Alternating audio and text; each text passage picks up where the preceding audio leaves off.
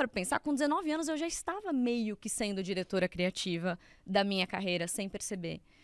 Então, é, isso é muito legal, sabe? De olhar para trás e falar, nossa, eu ach, achava que isso era uma coisa muito mais recente, mas eu sempre tive essa personalidade. Eu acho que isso sempre esteve em mim.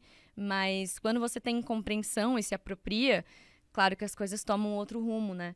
Mas esse foi, foi um exercício muito interessante de fazer, assim.